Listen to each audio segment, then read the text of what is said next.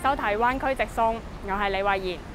受疫情影响，今年缩水得返一个星期嘅两会喺星期四闭幕。总理李克强喺闭幕后进行记者答问。一国两制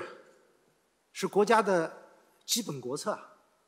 中央政府始终强调要全面准确地贯彻一国两制，港人治港，高度自治，严格按照宪法和基本法办事，支持特区政府和行政长官依法施政，这是一贯的。因为你提到全国人大刚通过的有关维护国家安全的决定，也表明要使一国两制行稳致远，维护香港长期繁荣稳定。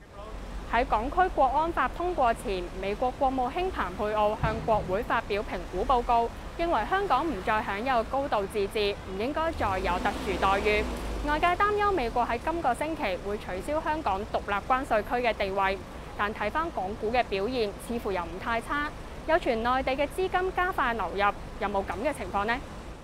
隨住港區國安法表決通過，港股持續疲弱。星期四恒指收報兩萬三千一百三十二點，跌一百六十八點，跌幅有所收窄。港股通淨流出就錄得三億兩千萬。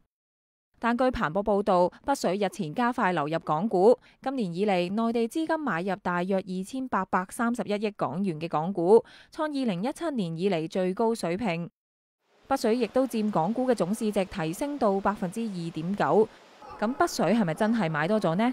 有，然后最近呢就观察到一些信号嘛，最典型的就是中概股这边要回到香港这边去上市嘛，就你可选择的标的各方面是更多了，然后质地也更好了。那么这块的话就是可能会更愿意配置一些，然后还有一些就是南下资金嘛，就是之前也是不断的去流入嘛，对一些个股上，那可能会改变整个港股的一个生态，因为之前的话是外资多一点嘛，外资可能更理性，然后呢一有风吹草动，就外边的风吹草动，可能他们就会悲观一点嘛。有分析就認為，內地資金加快流入港股，係喺中美角力期間支撐香港市場。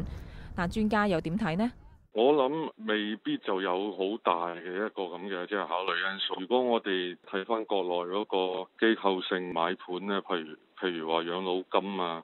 啊或者係長期資金嘅話咧，嗰個配置咧，我諗。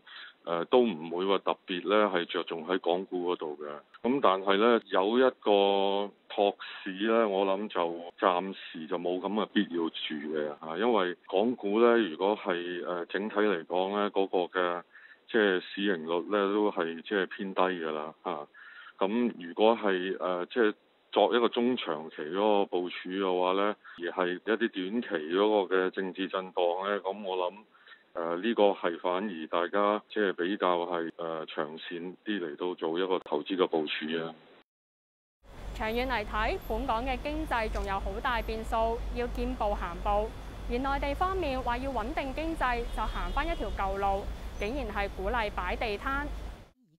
喺內地生活，周不時會見到小販喺電動車上面賣嘢，但係呢啲生意並唔合法，所以佢哋時不時要同城管上演貓捉老鼠嘅遊戲。以前有五六个小时的时候，就有两个小时追着我们跑，就是有生意，比如像顾客围到的时候都做不成。但疫情之下，室内空气唔流通，喺室外做生意反而成为咗一条门路。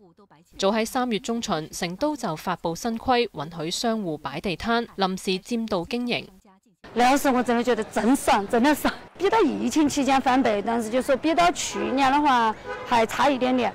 如果就說繼續就說這樣子，呃，穩定的經營下去的話，應該就是未來一個把月就基本上能夠完全恢復了。截至五月中旬，成都共設有臨時佔道攤位一千六百三十六個，臨時月門經營點一萬八千二百六十個，允許流動商販經營點接近一萬七千個，直接同間接增加就業崗位超過十萬個。內地近年為咗改善街道衛生，取締小販同埋大排檔等等。但疫情對經濟造成重大打擊，有人大代表就認為應該合理恢復地攤經濟。這一塊呢，哈就給這個有一部分這個